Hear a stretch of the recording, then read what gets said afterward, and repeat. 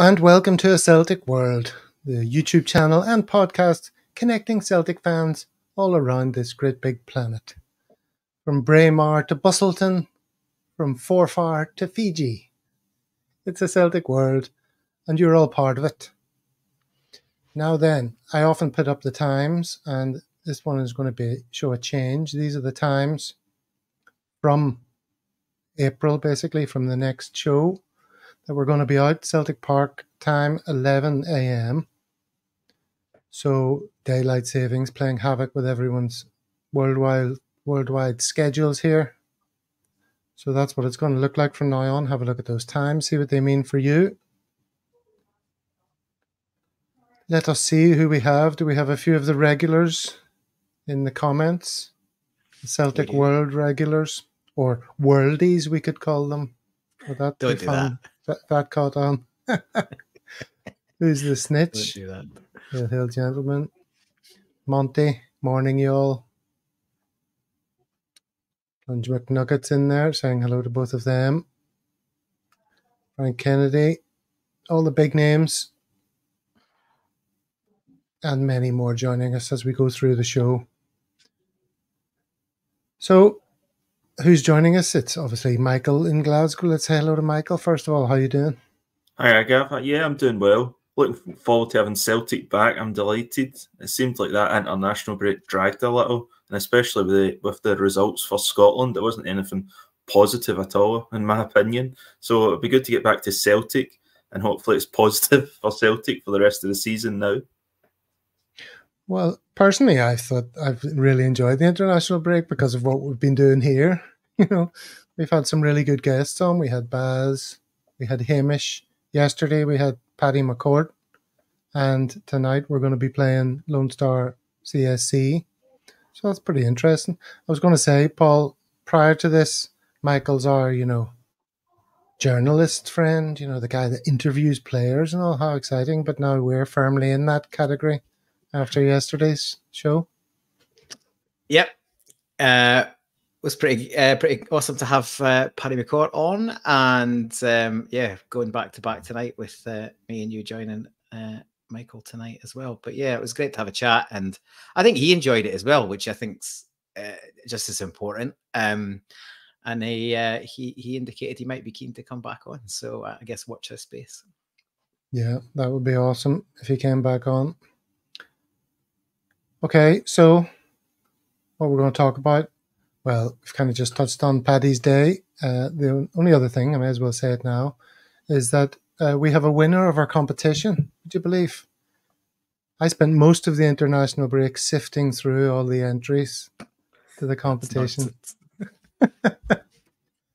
and we have a winner, and it's Bill McCabe, winner of possibly the easiest competition in the history of competitions.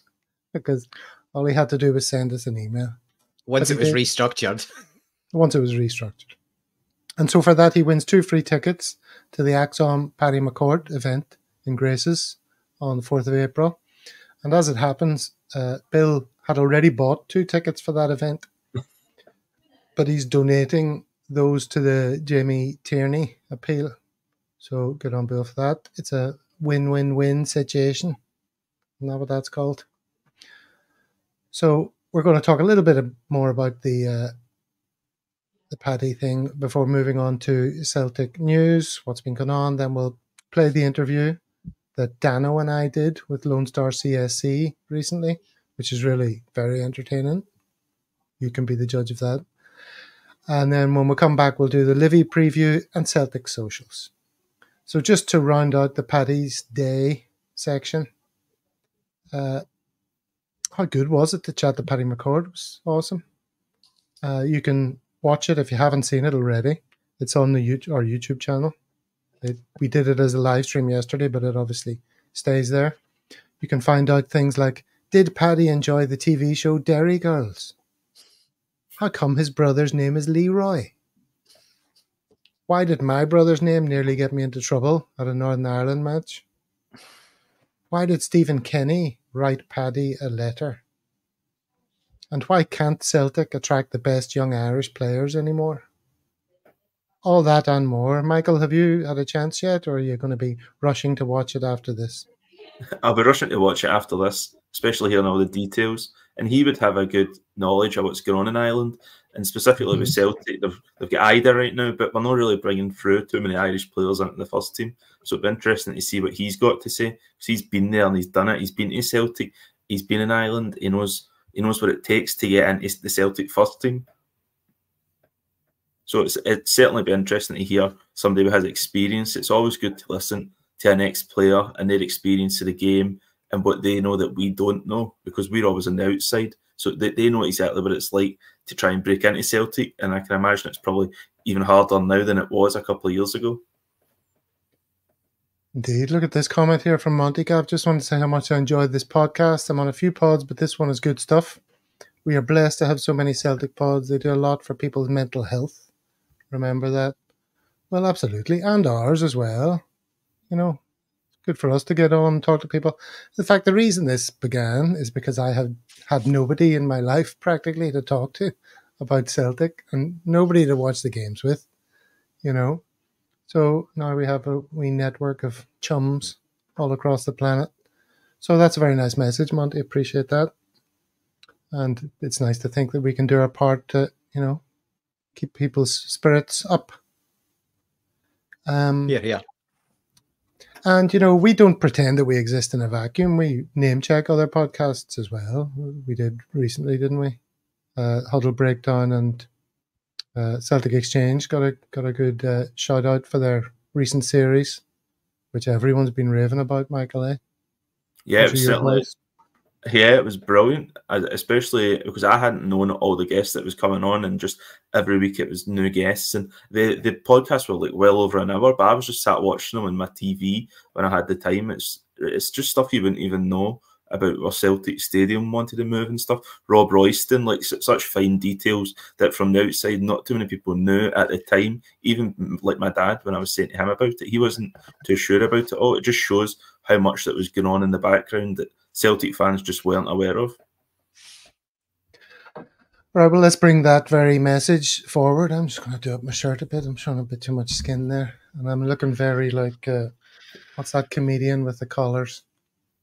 Harry Hill. People, Harry Hill. People like to. There's another one to add. It. We've got Harry Hill, Penfold, Dickie Attenborough. Uh, feel free to add in the comments if you've got any others. We'll we'll be delighted to to add them to the list. Okay, I can take it. Let's move it forward into all the stuff that's going on around Celtic at the moment. Uh, as you can see on all the other channels, people are you know talking about the same things because there's very little. So we'll just run through them relatively quickly, I think, before getting on to the Lone Star video. So the Brendan Rodgers hearing, Nick De Marco, King's Counsel, we're all familiar with that name suddenly, from Blackstone Chambers. Would you believe it? He does a podcast called the Sports Law Podcast, which I tried to listen to earlier on today, but I really recommend it. If you've trouble sleeping, it's a wonderful little uh, thing to tune into because, you know, the law of anything sports law, entertainment law. That's always the dullest part of whatever the particular thing is, if you ask me.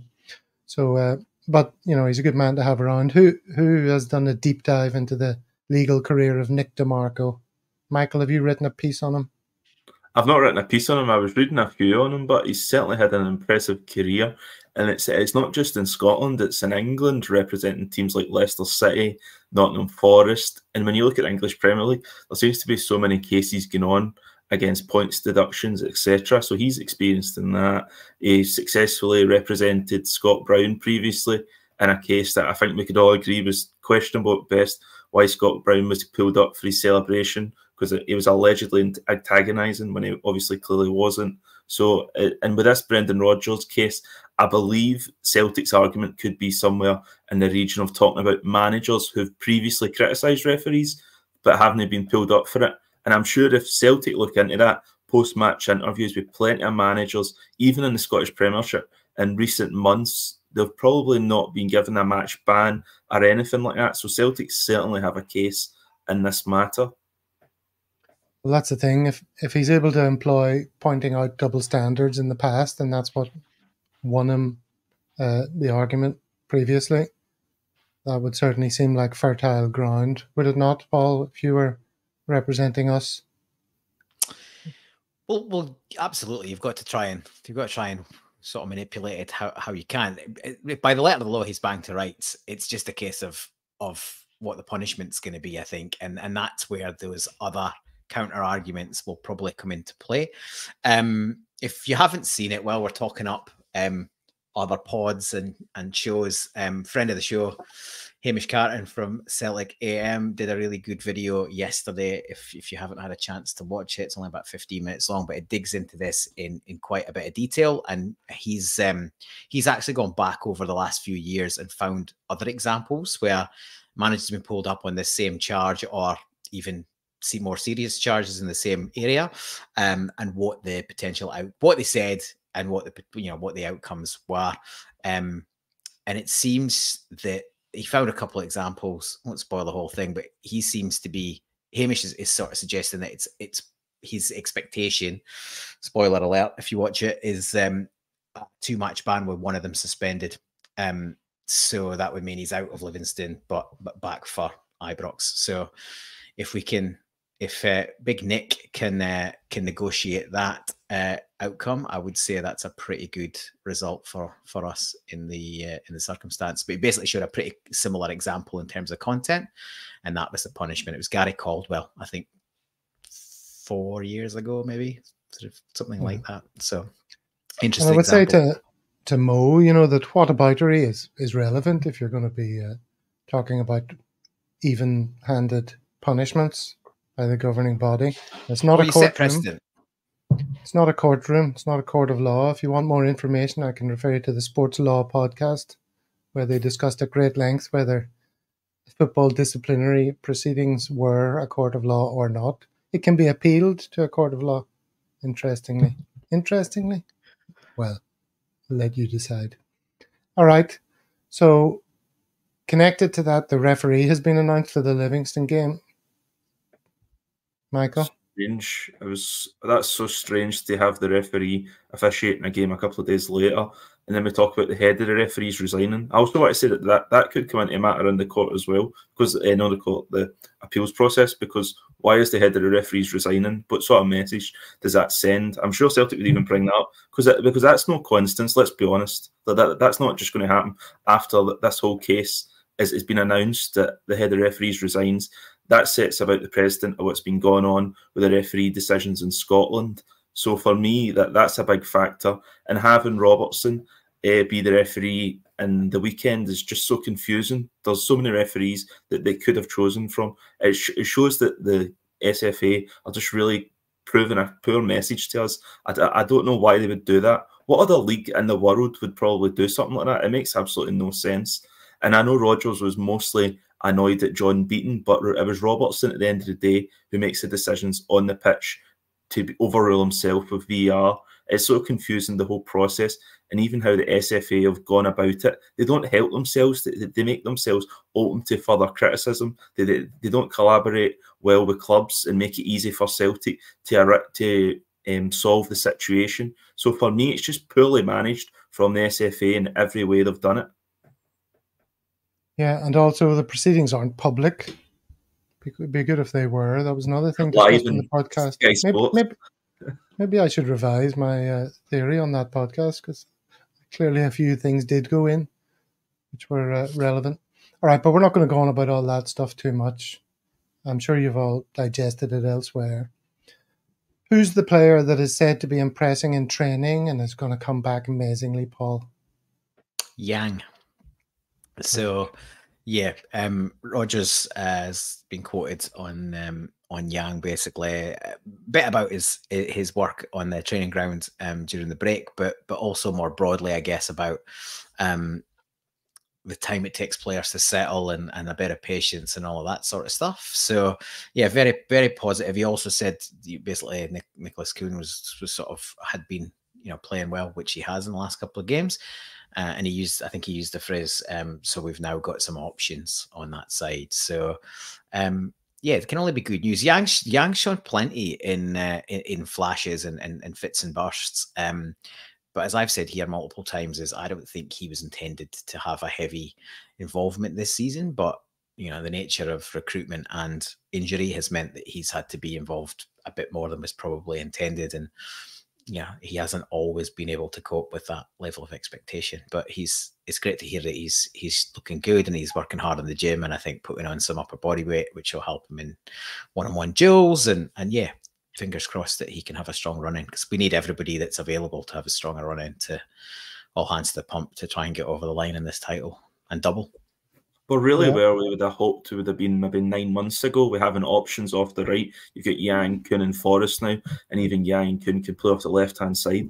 Ideally, that's where we would have wanted to be with Jota leaving, but we experimented at times with Maeda moving to the right hand side. I don't think that's Maeda's best position. So it is finally where we would have probably wanted it to have been at the start of the season. So I can certainly see a lot of positives in that aspect. Yang and Kühn have both shown great performances in recent weeks and months, so that there's a lot of positives, and it's exactly what you need at Celtic. You need two players, or maybe even three, with Forrest playing well, competing for that right hand side. So it's exactly what we all want to see. And with Rangers coming up in the coming weeks, it puts us in a good position.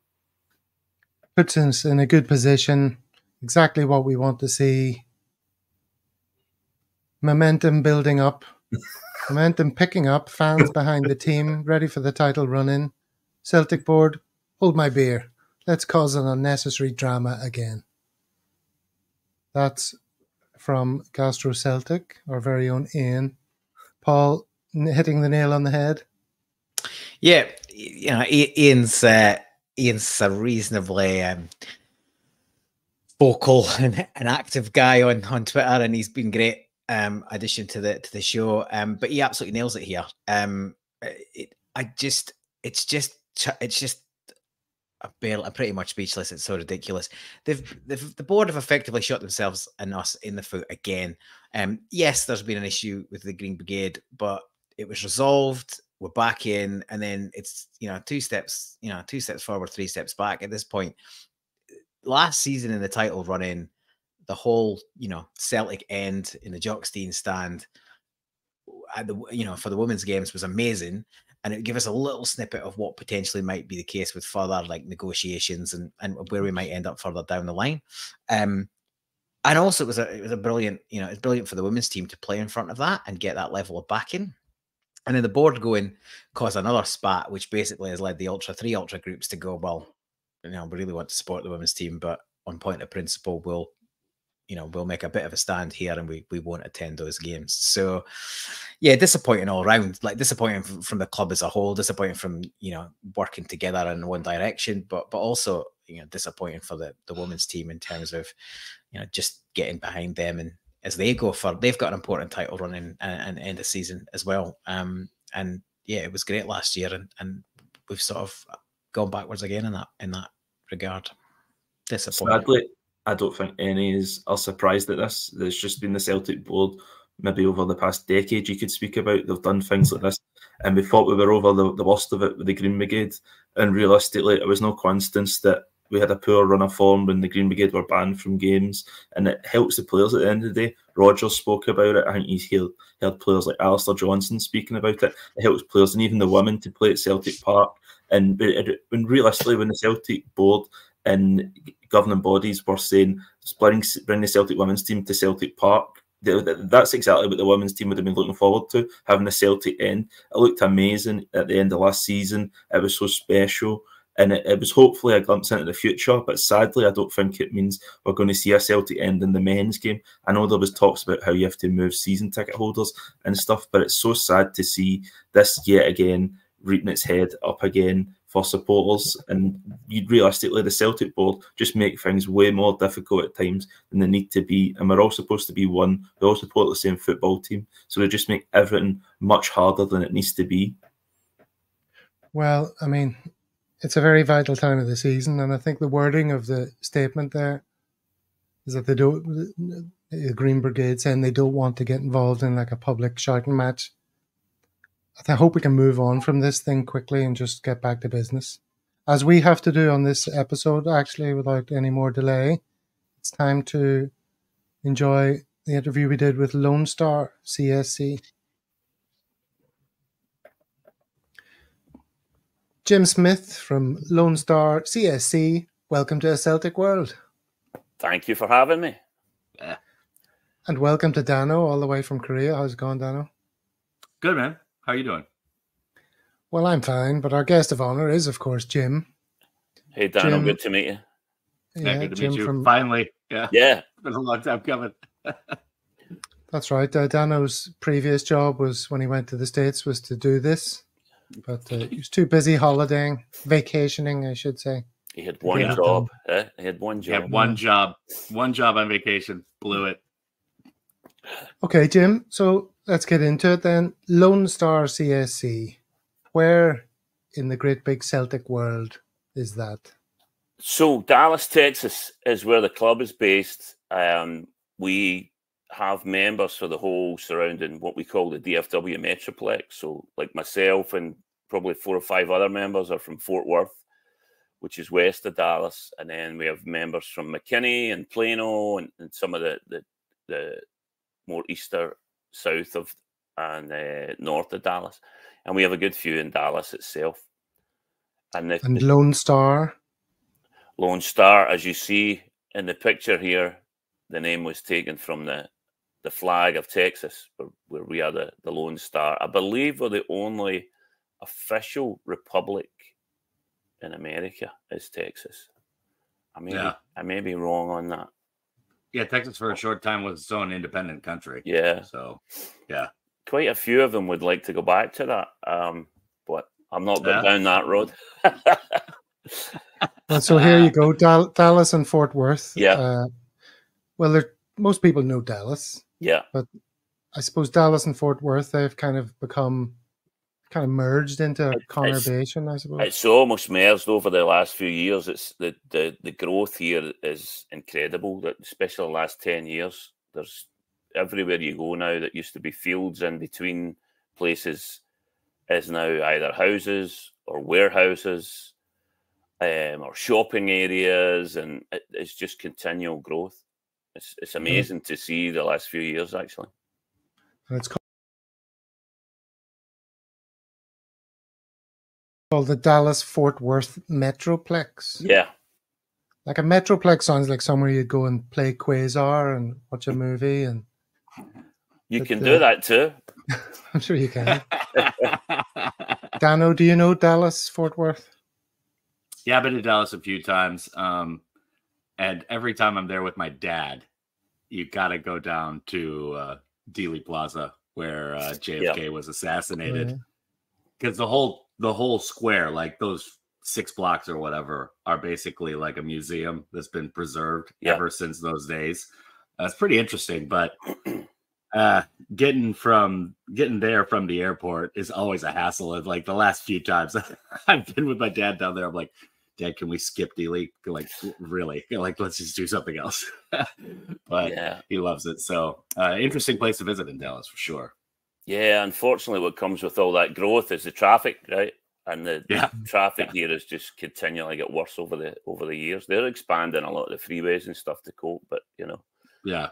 it, But just not- looking at, at this map here. I notice up above Dallas, you've got uh, some sort of indigenous First Nation uh, land. Choctaw Nation. yeah, Is everybody familiar with that?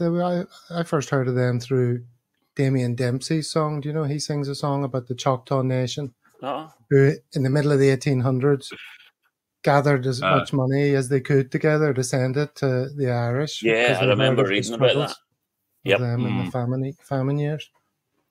But so yeah. I'll leave, I'll leave a link to that song in the show notes if you want to hear Damien Dempsey singing about the Choctaw Nation. Well, yeah, the state of what they said. Oklahoma was basically started as a you know native reservation. The entire state was basically Yeah. for natives removed off their land. Uh, pretty wicked story, man. Well, back in the modern era, Lone Star Celtic Supporters Club. This is from your Facebook page, Jim. This is Blackfriar Pub. Tell us about that. So after COVID, the pub that we showed the games in is an Irish bar called Trinity Hall that we'd been in for years and years and had been there for years. They opened up again after COVID, which we were delighted with. And after a couple of months, for whatever reasons, Marius decided to do a as he called it on his Facebook post, an Irish goodbye, and uh, they shut the place down.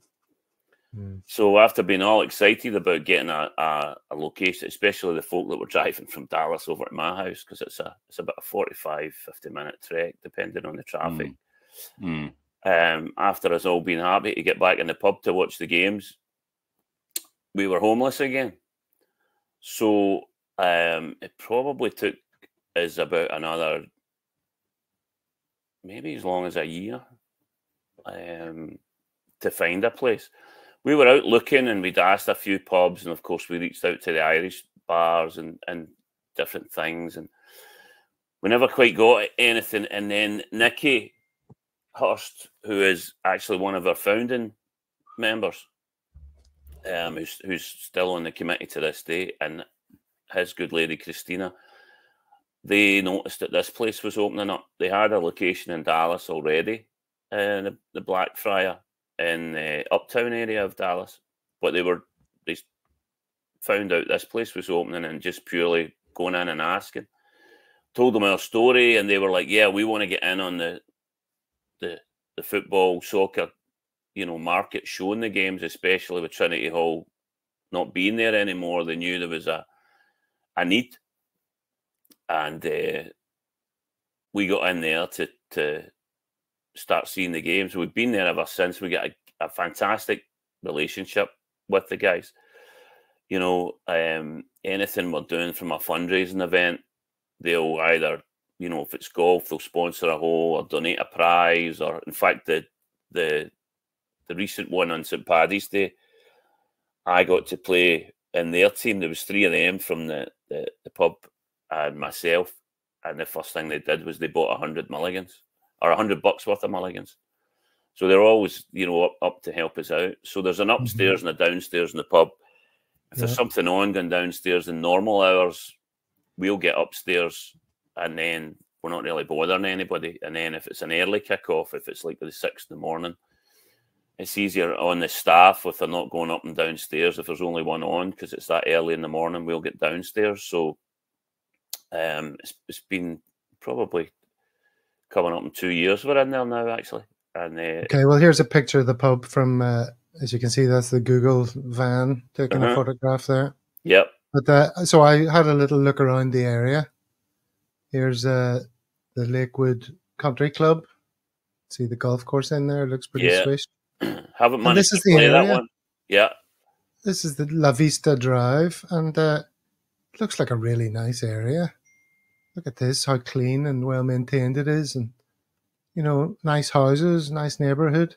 Now I know your money goes a fair way in Texas generally. Yeah, yeah. Compared but, uh, to some of the other states, it does. Looks really pleasant. And here yeah. we go. This is the entry in the book, uh, "Football Without Fans," I which we featured before on the podcast. Oh, very yeah. good. Or on the show, we've talked about it, done various features on it. Um, well, I guess I can leave that up there for people to read. Uh, yeah, it's a great. you want read. to give us your your own version of it, maybe. Fantastic okay. idea. So I wasn't around when the club was formed. I've been over here just over uh, 21 years. Um, and the club was already started when I got here.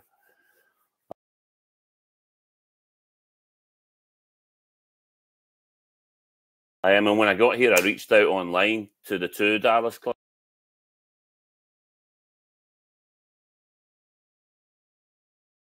as they were at the time, and the other one, the, the, the original Dallas,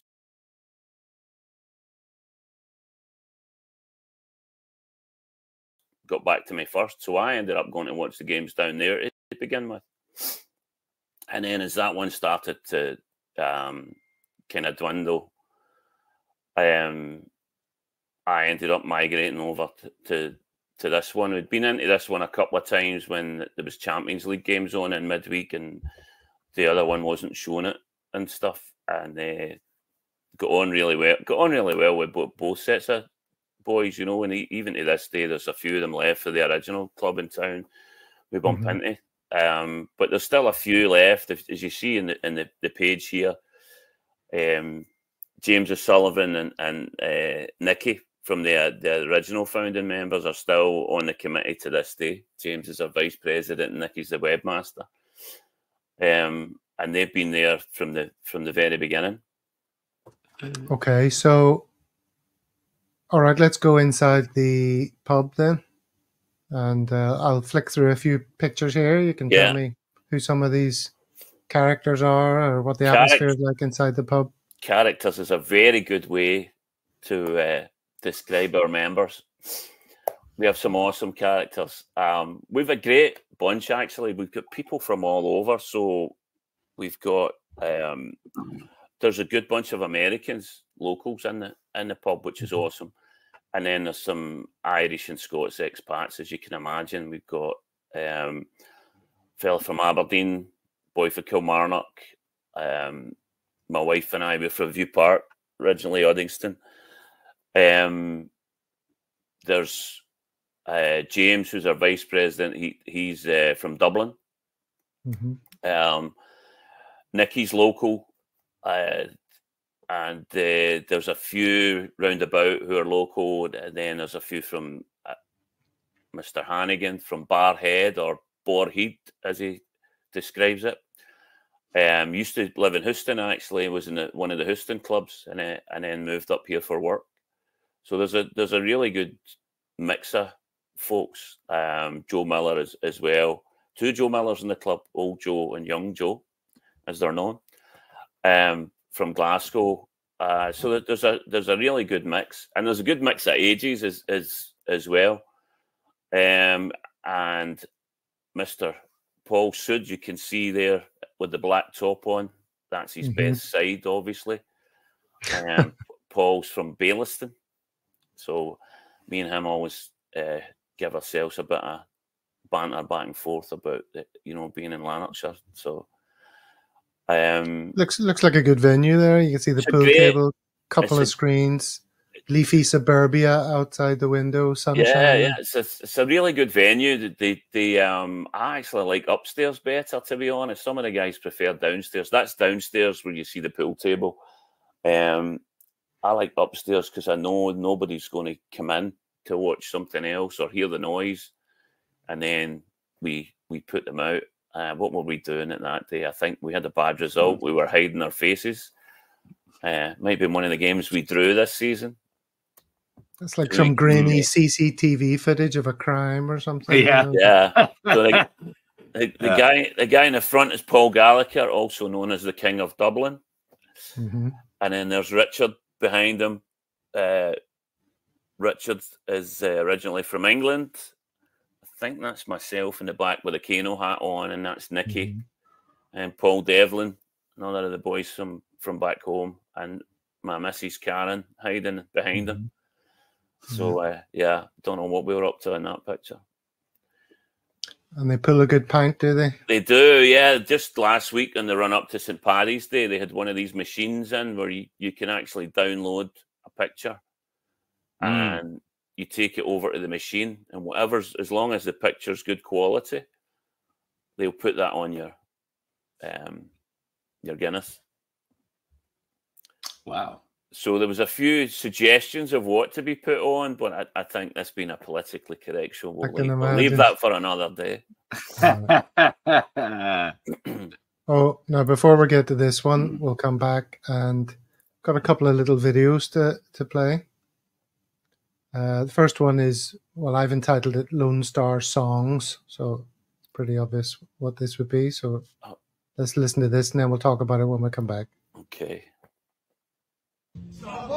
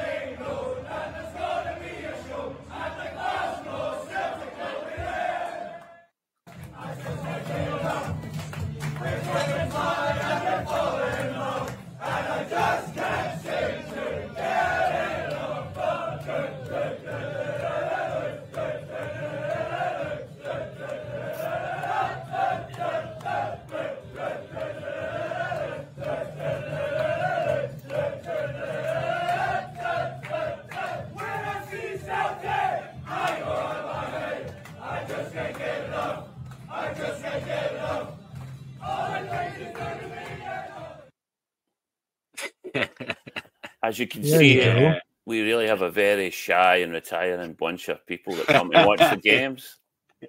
Yeah. yeah. That's us at six in the morning. Can you imagine? Is it a three o'clock kickoff? Mhm. Yeah. It is amazing to think about, you know, how all these songs from the terraces are ringing out in all these disparate places all around the world. Yeah. Yeah. You know, Yeah. it's incredible. YouTube is an But, yeah. awesome tool, isn't it? It's a lot of fun to see see the atmosphere there that is generated in your place. Yeah, That's we've had some we've had some really good times. I see Mr. Paul Field as well leading some of the, the singing there. Paul's another one of our long term members, originally from England. hmm Okay, and now you can explain this one to us. Ha ha.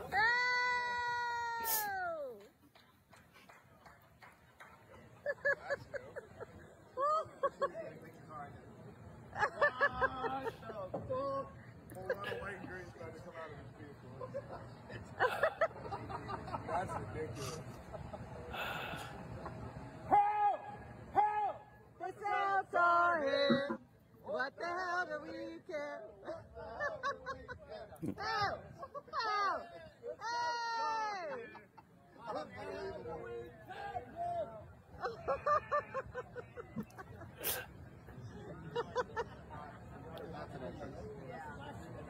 Who else is coming out?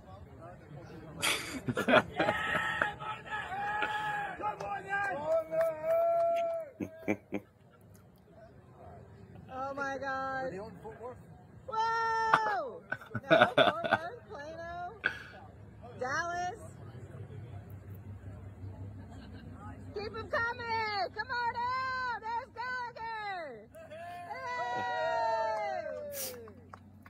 Who else is in there? Oh, just a few! Just a few! Come on up, Paul! Oh! There's Karen! There she is. Hey, this way! Woo! All right! I think I'm in there somewhere. Well, the star of the show has yet to appear. The headliner. There's Mr. Smith! Woo! Believe it or not, I was cleaning up all the empties. I'm sure.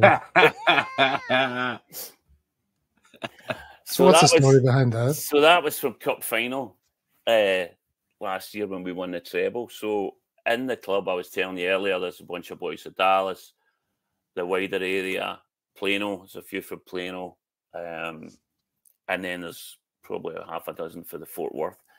So the banter that flies back and forth between the Dallas boys and the Fort Worth boys and the, the Plano Pirates, as we call them, in the chat, right? We're always having a go at each other and trying to up one another or who showed up first, who stayed out longest, whatever, right?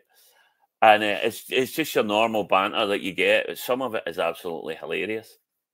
So anyway, we went up to the cup final. I just said to one of them, "Hey, why don't we get a limo, and it'll save us relying on somebody to drive over because we all take a turn at driving. Half the time it ends up my missus ends up driving because the other four or five of us end up having a few pints. So I said, if we hire a limo, then we don't need to rely on Karen, and Karen can one of the four or five times a year she has a drink Mhm. she can maybe join in the festivities that day. So as soon as I said it, two or three of them jumped on it. That's a frigging great idea. So bef- the next day, there's two of them sending me email. Hey, I've got prices. Shiraz was working it. Paul Gallagher's working. So we end up, we get a limo. And uh, with it being pushed back to five o'clock kickoff that day, I don't know if you remember the Faroe where they moved the Scottish Cup final. So it was a different time for the English final. Mm. So I had the the Fort Worth boys over at mine.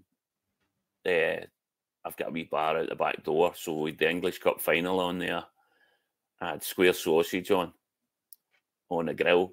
We all had our own square sausage and a couple of pints. We watched the first half of the the English Cup final, and then the limo shows up, and two of the guys got in on it for for Plano. Mark and his son they actually Ubered over for Plano that morning so they could come over to mine.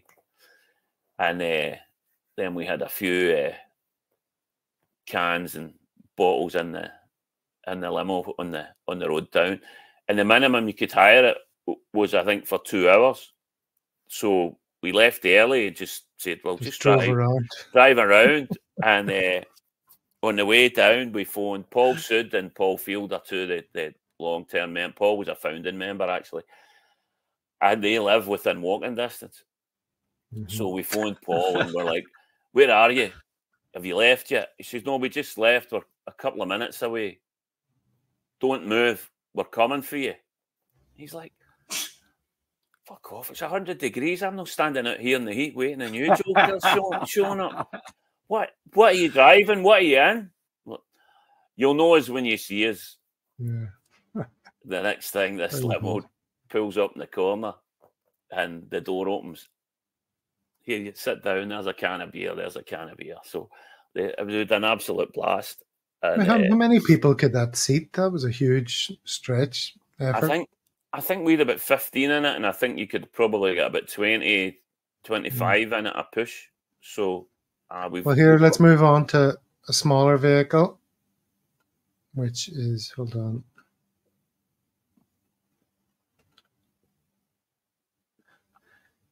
This is uh, one of your golf day out days out for charity. Yeah, this this was the one just just the other week, and uh, last that's year. you there in the green. Yeah, that's me. London. So we had on the so we started an annual St Paddy's golf event. We started it last year, so this was the second one. But we have uh, one of the prizes is best dressed. Although one of the guys won it last year, we changed it to worst dressed. But um, the King of Dublin won it last year, actually. But with it being St Paddy's, we had the theme. You got to get your your your green on. So I was disappointed I didn't win. I thought I'd made a really good effort, but uh, this boy didn't get the memo. It wasn't to be not Kevin. Yeah, he he, he didn't get the memo. but if you can see the guy, the guy next to him, I'm actually my hands covering up his face. Yeah. That's Fernando. We'll he is we'll dressed in, in, the in the full shamrock, in the full uh, leprechaun outfit. So I think he ended up, up winning. and the golf course you played at this at sounds like a place in Glasgow, doesn't it? Fossil Creek. Was it Fossil Creek? I thought it was Fossil Park. No, Fos- was, Fossil, Fossil Creek. Fossil Creek. The, the one we, we played it in this year. Really nice course. Look at yeah, that hole course. there. Yeah. Yeah. That, that's one of the holes there, isn't it? Mm. Yeah. So, so Jim, do you go straight for the green or do you pansy out and lay up somewhere down the this bit of the fairway? it really depends on how many beers I've had, you know. There's the, the more beers you have, the less pansying you do, but then you end up just losing more balls, right? But very good. But yes, yeah, so and we, as, as it said in the entry in the in the book there about the CSC, you you know you like to do charity events, and we do. this was, yeah, we do. I mean, the whole ethos of Celtic was that it was founded for charitable origins mm-hmm. and, and reasons to help people out who are less fortunate. And the, one of the great things about our club is we really embrace that, and we and um, we support um, as often as we can. You know, you, you've got to be conscious of the fact in the current climate that you're not asking people for money every other day, right? But um, we do twice a year. We do two golf events. We did an annual one at St Patrick's weekend, and then we take part in the Kano global event every year, which is normally around about September. And then our Christmas night out, anything we raise at our Christmas night out, we give to the Celtic Foundation. Yeah. And look at the bottle there, Dano. Yeah. So mm. we hmm. we started this a couple of years ago. We stole it. We went to uh, one of the Houston clubs for their Christmas night out a bunch of years ago, and they had a bucky auction. And uh, myself, Nikki, Paul Sud, my son was over at the time. A bunch of us all chipped in and made sure the buckle wasn't staying in Houston. We brought it back to Dallas. So every time we have an event since, we've ended up having a bucky auction. And this particular one at the golf mm. last week, uh, that's Cager, he won it. Uh, 330 bucks it went for. Wow. Yeah. And that's the fella you were talking about earlier, who you were. Yeah, that's Fernando. Fernando runs the bar, and uh, Kevin next to him. He's, he's got less blue on in that one, so he, he's he's got his Mm. green beads on at least. And and then JP in the middle, trying to look green as a, a contest a contestant in the best dressed. You can see the King of Dublin on the left went all in again, but it wasn't to be. Mm-hmm. And Karen, my my good lady, Here for the shenanigans. she was. Now it says here, this is the club, I think, the golf club. These are the supporters of the golf club. Is that So- correct? so- The sponsors? as part of the golf, we offer an opportunity to sponsor a hole, and depending how big the event is, either a hundred bucks or two hundred bucks, and then that goes in towards whatever charity we're doing it for. So the Austin Club's been really good partners with us. Um, they sponsored one. Um, the the red logo there is the local GAA club. Yeah, They- Finn that- that's- McCool. yeah, that's based in Dallas, and we sponsored a hole in their event last year, and we put a team in to the event, um, and they reciprocated back to us. So it was great to see that. Blackfriars, the pub, and then there's a couple other businesses there. The the Wolf Tone's actually my my wife's. Uh, she's she's got a little uh, doggy daycare thing going. Oh, is that what that is? The Wolf Tone? the Wolf- yeah, the Wolf Tone and in Spa. That's It's a, it's a play on something. I wonder if you can figure it out. Well done, well done. you know. Um, and then the pacer is one of the other guys works for them. Mr. Hannigan. This fella shows up quite a lot in the photos. Yeah, so Mark is uh, from from Borheed, as he says. Oh, yeah. Uh, Mark Hannigan. So And what's he winning there? so he is. Oh, this was a prize in the Christmas night out, and you know that picture, uh, Brendan Rodgers in a bag of cans. hmm So somebody donated a, a four pack of Tennent's. So we had it labelled up as a bag of cans. So Mhm. Mark won that in the in the raffle at Christmas. So there's just a few other pictures here of uh, Yeah, we managed to find get on your Facebook page. the, the trophies out. This was us at the Rangers game at New Year. Yeah. So this is you going back to to see a game Yeah. live. there was a few of us actually made it. Mark Hannigan was, was black. I was black. My wife was black. That's us all. We all met at the stairs after the game. Mhm. Turns out we were all sitting not too far away. That's Mark's son there, Tim. My daughter-in-law trying to photobomb on the right-hand side, Leanne. So that was a that was a good day. Our flight was delayed. We went into Dublin, so we missed the first 30 minutes of the game. We're actually the flight over, and they told us the weather was so bad in Glasgow they were going to reroute us to Edinburgh No. and somehow we get a signal on the plane, and my wife's texting my daughter-in-law who was trying to pick us up. My son and my granddaughter were at the game, so she turns around, goes to Edinburgh, and then five minutes later, the pilot comes on and says, "Actually, we're just going to give it a go." That was his exact words. We're going to give it a go. Like filled us with confidence. Yeah. Very good. Um, wow. Text her back. We're going back to Glasgow, so she's pulling off and pulling on, and but she managed to pick us up, and we made it.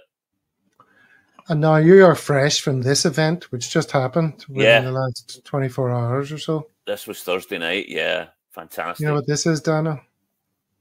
Mm, no.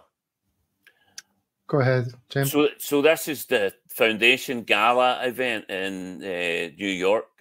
I think this is the fifth year they've they've they've done it. The Celtic Foundation they they have a, a gala event every year in New York, and uh, as you can see there, the, the guest of honor was Mark Hannigan. No, no, Brendan Rodgers. Um, Mark Hannigan gives uh, Brendan's pearly white teeth a good run for their money, he, doesn't he he? does. He brushes up well, doesn't he? and uh, so we, we were lucky enough a few years ago to take part. They they did the foundation arranged a, a walk, a sponsored walk around New York with the Bronx boys, the Fenian boys, the New York club, and it basically you were walking from one supporters club pub to another, Mhm, mhm. stopping over at the Father Duffy statue.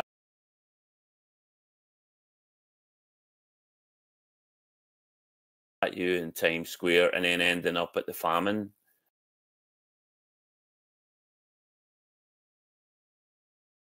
museum. down in, in the, I think it's a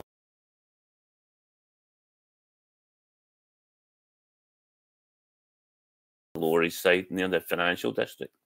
Mm. And we, uh, myself, Karen, my my wife, and Paul Devlin, you can see in the back of the picture there. Um, we're lucky enough to go up and, and and take part in it. It was a great event, a great a great, great day, um, and on the back of that, we were invited to the gala dinner the next Great. year. There's there's um, Mhm. members of the local supporters clubs. They, they managed to have a few seats held back for uh, Celtic CSCs. Now, who's this handsome fellow with his arm around? Yeah, big big Roy, is- feed the bear. He was fantastic. I got to speak to Roy and and said there was a few of us for the Lone Star Club and would they mind coming over for a picture? Came over and sat at the table and and, and chatted away. Mark, Mark Hannigan actually had flew his, his dad over for the event, and, and and Jim uses a wheelchair, so Roy came over and sat with Jim and they had a, a chat for about five ten minutes. So Oh, he- what he- sort of venue is that you're in? It looks very like a in like a church or something. Yeah, it's a place called Cipriani's. It's a massive uh, place. I guess it's just set up for hosting events like this. I think there was Mhm. somewhere in the region of 400 there. Um, and we had 12 at our table. I think most of the tables were set up for 10, but we ended up with an odd number. Um, so fantastic night. And did you get much crack out of Brendan, or did he just come over for the snap? and- Actually, we did. Um, got my sign a, a, a nice picture of him his, his first time round and got him to, to put on it to Tegan, our granddaughter. Mhm. And uh, my wife had a, a bit of chat with Actually, she gave him into trouble because she wrote to him at the start of the season and he didn't write back. and uh, he he was very adamant that he couldn't have received the letter because he replies to everything. And they, he but he was very uh, he was very open and he was- he was good chat actually, very Mhm. very accommodating. You didn't ask him any for any inside news about I didn't. summer transfer activity or anything. I I No. I didn't, but I, I think there was one or two did. He did a Q&A as, as- as well. Tony Hamilton was the MC and and and uh, Tony did a, a, a Q&A. Certainly left us with a feeling that he's right up for the for the fight for the rest of the season. So hmm I think we're in good hands. You might know this fella as well. Oh man. Indeed. Yeah. And Henrik did a, a Q&A as well. hmm Here's the pearly whites again in evidence Yeah, on yeah. either side of that photograph. To be Mark, fair, Mark does That's like, like that's like a game show host, man. yeah, Mark does like a wee uh, a wee selfie. He reminds me a bit of uh, Ian St John. You remember from Saint and Greavsie? Do you know there's a few people said that? Some of our pictures when we like- post them on social media, they're like, "Is that the Mm. ghost of Ian St John on there?" well, yeah, he takes it well though. And there's you getting some stuff signed by Henrik. Yeah, I had brought a Lone Star uh, shirt up. We we've got a little bit of merchandise that we sell at the, the pub, and I brought a, a shirt up with me. So I got Henrik and Brendan and and uh, Big Roy to sign it. See, he's graying, isn't he, Henrik? It's funny He to is. see him like becoming a senior statesman. Yeah, Still looks great though. he does. still a He good does. dude. Still looks fit. Yeah. Mm. And uh, you're making plans for the summertime for the tour. We are, we are, yes. So we've we've recently there was a link sent out to um, most of the US supporters club um, last week and yesterday. After a lot of hard work behind the scenes from the team, gathering names and and money, and, and the the link initially came out with a, a kind of minimum of ten for your group order. And overnight we heard it was changed to 25 so then people were scrambling. This is where the, the kind of network comes into play Mhm. re- reaching out to other clubs how many have you got can we pull with you can we pull with you so a lot of text message and phone calls and um Nikki one of our our uh, founding members. He's friendly with the guys in the Chicago club, but he was talking to them. I was talking to the guys in the Philly club and the Orlando club, and what the Houston clubs and the Austin club, and pulling our resources. So um, yesterday, I was I was wondering which game. Sorry to jump in. I was wondering which game you might go to because they're all kind of equidistant, aren't they? From Yeah. you? yeah. not, not much in it. So Yeah. I'm going to the two weekend games. We, we're going to Notre Dame and we're going to DC. You can't say Notre Dame. That's too correct a pronunciation. Oh, really? N- ND. What are you supposed Yeah, to say, Notre Dano? Notre Dame. Notre Dame. There you go. You and There you your go, French show level, you see, portion of Yeah. the set, right? Well, well, if you raise if you raise Catholic in the Midwest like I was, that that football team, the American football team, of course, is Yeah. like a semi-religious entity. Yeah, I, I got to see Irish them Americans. years ago. They, they do every couple of years. They do a gate a home game, but they take it away and they call it the Shamrock Challenge. Oh then- yeah, they played that down in Dallas, right? They, At- they were at the Cowboy Stadium, so we went Jerry to, World, to that yeah. at Jerry World to see them. So that Mm. was that was good. Um, but I thought the opportunity to to go and actually see the the campus would be too good to to miss. It's a, it's a beautiful place, man. fantastic. Uh, the state, the stadium's incredible too. Yeah, seventy seven thousand, I think it holds. So Yeah, they've expanded. Yeah, so used to be like 60. Now Yeah. it's 77, 80. Yeah, amazing. Well, Jim, it feels like we've only just scratched the surface and we're closing in on 40 minutes. So we're going to have to wrap it up then at this Right. point. So Mm. thank you so much for spending some time with us and filling us in all about your supporters club. awesome. And if you guys are ever in the DFW Metroplex, you're more than welcome. Next time I'm in the and- Metroplex, I'm going to give you a Yeah. shout. I'm going to turn join- up in a limo. Yeah, yeah, come and join us for a game. We're, we're already they're already talking about how we're going to up this if we get to the You're cup, right. when we get to the cup final this year. So Yeah. uh, Yeah, it'll just be it'll just be Gav and I in a limo of the same size. So There you go. That's it. plenty of room to stretch out and relax. All right, Jim. All the best. Cheers. Thanks, guys. thanks, Take Jim. care. Hail, hail. Hail, hail. Okay, gentlemen, that was uh, me and Lone Star CSC and Dano also present. Um, I don't know if that stuttered for you a little bit. It stuttered for me, and it happened when I was moving my mouse around to prepare for other things. But uh, did it play smoothly for you, or were there a couple of little stutters? A couple, but no too many. It was mostly smooth, so you'd expect that about the occasional little stutter. Nothing to worry about. And what was your key takeaway from that, Paul? What, what bit would you like to draw attention to? Uh, just always, always, um, it's always. I always enjoy that when the American clubs go in. I'm just um, kind of how well connected they are, how they are, they are in contact with each other, and um, they work together on on various stuff. You know, like the dinner, you know, the charity dinner, and and then obviously for for the for these future games, and they've just been, uh, you know, mu- you know, really long established and and uh, well attended. Um, so yeah, we uh, I'd love to get to the states and uh, and pop into to one or one or two of these. But uh, it's been a long time since I was in a in a Celtic supporters club in uh, in the states. The last time would have been the six two game. Um, I was I was in New York for that. I watched that in the parlor bar at about seven a.m. Uh, in New York, and my brother was lucky enough to have my season ticket that day. The Jammy Sod. Uh, I was in the states for a month, which was pretty good pretty good trip to be on as well. But uh, yeah, like uh, much like here, I guess you know you, you're up at all hours and um and yeah, a lot of dedication. So um just yeah, do really enjoy the chats with with all the CSCs when they come on.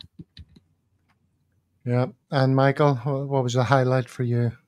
I liked a few of your comments about the teeth and Brendan Rodgers, and then you, you're referencing one of the golf courses sounded like Postal Park. Was that right? You were saying it sounded like That's that. what I thought it said, Fossil Park, so, but it wasn't actually. it certainly doesn't look like that, does it? There is a bit of Postal No, Park. pretty different.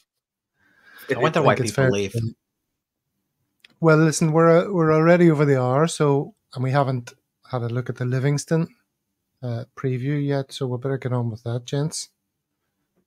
Uh, just while I set up here, you're going to talk to me, Paul, about the fixture. Oh, do you know the, the well the fixture the fixture's all this week. The next one's coming up. Here they are. Oh no, that's not them. This is them. Oh yeah, the the the, the. The, obviously, our game's a big deal, but but prior to that, um, we've got Hibs at the other lot, um, which could be interesting. You'd expect you'd expect them to win that at home, but we're getting you know getting down to the tight end of the season. It would be uh, it would be pretty uh, well if we needed any more, you know, um, impetus, and I don't think we would we would or should, then um, a little upset there would uh, would put us in a brilliant position. But we assume they'll win, um, so we'll go back to uh, two points behind going into our fixture. And really, the manager's bleated about it, but and and it's it sounds like a cliche, but we do just have to concentrate on ourselves until we go and play them the week after. Um, Livingston are really poor. We know that they're almost certainly going down. Um, but that pitch is a nightmare, and and they're a big bunch of brutes that will just try and pump us up in the air. And you know, we don't need to speak about the referee; we've touched that already. So, um, for me, the big thing is who who actually gets selected. Um, I know you've touched on it in in previous shows. Um, you know, do we risk players on on that debacle of a surface and you know, there's an argument for both. You know, we've got to go out and get the three points, but I think there's enough depth in the squad at the minute to to deal with it without risking key players um, that are either just back from injury or not quite back from injury. So, as usual, when you go there, it's three points and up the road, um, and and fingers crossed we can do that. Three points and up the road. Here's the table, Michael. Celtic on top. Are you expecting that to be the state of play at the end of the weekend? I'd hope so. It's not going to be easy. Our history at Livingston, we've struggled there over the years. We kind of gotten over it in the past couple of years. So I'd be hopeful that Celtic get the win. With Rangers as well, a lot of people are forgetting they've lost their last two home games in a row. Not too many people are speaking about that. So that there is the potential for a slip up, uh, especially with the Motherwell result and the disappointing European result. So for us, we focus on Livingston. None of us are going to underestimate the game. We know how difficult it is to play there, even with the referee as well. That's a confusing situation in itself. But I can see positives with Celtic arguably the last game was one of our best performances of the season. Things looked to be clicking. Just when Kyogo looked to be maybe just out the side, he's right back in and he's scoring goals. So if we have a player like that scoring goals, nobody will stop us. I just hope we can pick up where we left off. That's the thing. Here's the form guide, the last six games. Um, Hibernian, interestingly, in third. Look at that. It's mm. not been terrible when you think of the Hearts game as well. Like we, we did get a player sent off in that and a penalty against us. When you look at that form, we've, we drew that, that other game, so we've not been too far away. Our form's been getting better, so I, I wouldn't be too concerned. That looks to be the anomaly. That Hearts game with the penalty given against us and the red card. So for me, I can see positives. And and on the other game, you know, we're always looking at Hibs to come on, you know, give them a good game, and and they seldom do but uh, well, they haven't done in a while. But you know, I'm there's a part of me thinks that they are a club going in the right direction under this manager, and, and you know they're they're due a decent result somewhere, and you know they're in not bad form as you can see there, unbeaten in their last six. Could this Especially be the one, Paul? Well, we'll we'll take it. Um, Nick Montgomery has got a really good reputation down here, and I've been surprised it's taken him and Hibs as long, long as it has to get into a little bit of form. I think certainly the expectation in Australia was that you know he was a really good manager who played in the right way and, and would have you know a pretty quick impact there, and it hasn't really happened. He's he's you know he's he's had fits and starts as well, much like us really. Um, so yeah, what a time for for for it to to to continue on and, and to get a, a major scalp, and we can we can certainly hope that that's the case. And that that form is strong going into the fixture. So, and, and most of their players won't have been away over the international break and the like. So, you know, they, they'll have had plenty of time on on the pitch, and the practice pitch to to work out what they how they want to set up and the tactics for the game. So, fingers crossed they can uh, they can take something from that match. But as as Michael said and we've said, we just need to concentrate on ourselves. If we do our job, then we'll go into the game against them next week, top of the table, and a chance to stretch the lead. So that's where we want to be. Yeah, I mean, our players need to concentrate on themselves, but we can speculate It doesn't matter what we do. Michael, you were about to jump in with something there. Uh, I was just going to talk about Hibs and the, the last game. Hibs might have something to prove the way that went. The cup game against Rangers, it was quite a fiery game. Let's hope Hibs don't get any players sent off or anything. They, they showed glimpses in that game. They missed a few chances. The Rangers, the, penalty was questionable. So realistically, if Hibs are at their best, they could challenge Rangers. But how often have we seen that happen? And particularly at Ibrox, Hibs usually seem to play their best football Easter Road against the Old Firm. So for me, I would edge towards Rangers winning, but I wouldn't rule out Hibs getting a draw. That'd be awesome. Well, we don't have any crystal balls among us, but uh, The Simpsons, the cartoon, seems to have.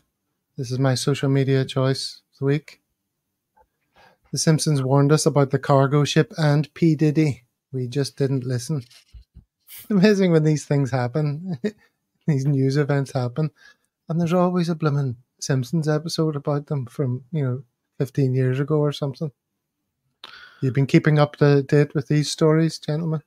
Yeah, I actually seen something on TikTok. It was about the Apple VR headsets, and it was looking back to The Simpsons, how they pretty much predicted that pretty well. So th- there's always something that pops up. The Simpsons. You look to the Donald Trump episode, uh, how sp- almost spot on that was of him coming down the escalator. And then there's an image of him with some world leaders. I think they're holding a ball. So it's it's pretty spot on. We can't really That's right. question it. The Spooky bridge, Paul. The Brit, well, they've they've been around for 30, 40 years, haven't they? And they've pumped out millions of episodes. So you'd imagine there'd be a bit of crossover here and there. Um, but uh, yeah, that story in the states, theatre. that story is in the states with that ship and and um, and that bridge coming down was pretty shocking. I guess the only thing you can be grateful for it was 1.30 in the morning, so you know traffic was was light. But yeah, I think there's still a few people that have potentially potentially um, lost and presumed dead. So it's it's a you know pretty tra- tragic situation. This is quality. Sorry to introduce some humor at a at a sober time, but uh, that's hilarious. Well, I do have a zigzaggy bu- bunch of hair around the back, which you can't see because it's always face on. But uh, all right, and then there's yours, Paul. Well, yeah, just I just thought um, it's been a light on week, so I thought this was um, kind of interesting. We are advertising for a first team analyst. Um, uh, I thought our very own uh, Mahesh might be interested in applying for this. Um, he certainly seems to be. Be doing a been doing a better job than some of the people we've had in in situ prior. Um, but yeah, just it would get be a great role for you know for somebody. Um, so yeah, if uh, if you're seeing this and that's uh, that's your bag, then um, there's, and there's certainly lots of people that run the stats in in the Celtic support. So you know maybe there's an opportunity to get in. I think there's a piece of everyone who's reading that right now and thinking, "Yep, I, I could do a job." you probably think you could do that job, Paul, quite well. Do you reckon? Nah, No. nah, I'm, I'm a big picture kind of guy. I'm not in the detail of the stats, so nah, not for me. I'm a Michael, you inspirational leader. Oof, that's a lot of hard work and not too much credit for it. In all honesty, Brendan Rodgers takes the credit at the end of the day, but he's taking the, the advice from them and how to beat the opposition. And even you talk about John Kennedy, he would get credit as well. Whereas this first team analyst, realistically, they, they've got to do a lot of the hard work to help the team and how to beat the opposition. It's a tough task. Be brilliant though. You become one of Brendan's, you know, right hand. I might write him a letter actually. I might write him a letter. I've heard that people that do write him a letter usually hear back. Always, he insists they always get a response, and Apart, apart from that woman, right enough. She he was the exception. So who who could doubt that that's the, the truth? All right, gents, we've gone ten minutes over the hour, so let's wrap it up there. Another bumper edition of a Celtic World during the international break. Next week we're going to be back to, uh, you know, talking about games and all that stuff. Um, Imagine. Incidentally, as it stands at the moment, Stephen and Dano are planning to do a watch along of the Livingston game. So if you want some company for that, you know where to find us. Thanks as always to our worldies. Am I not allowed to say that? I, watched a video earlier on from StreamYard and they were saying you should do these things, create the little vocabulary among your people. give them nicknames and stuff, but it's too cheesy, is it? Too naff. I'll let, up to you. You're the boss, mate. The democracy. Okay. See if it catches on. See if it catches on. they're not the worldies, but in our eyes, they are. That's the main thing. So thanks for watching, everyone. And if we don't see you at the watch along over the weekend, we'll see you back here on Monday. Cheery bye.